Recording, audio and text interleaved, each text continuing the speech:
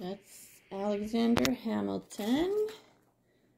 And here's George versus George.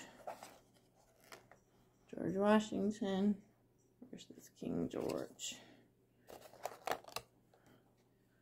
And that's catching up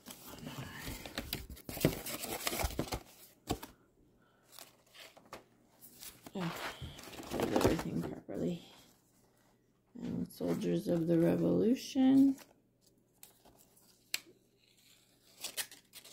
Frontiersmen. Continental soldiers.